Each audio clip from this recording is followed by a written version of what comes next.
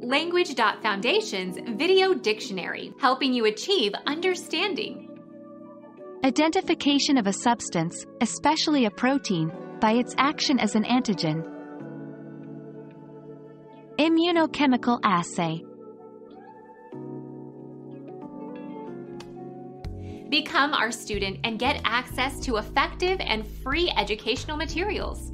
Subscribe to our channel to become a part of our growing community and to learn English effectively.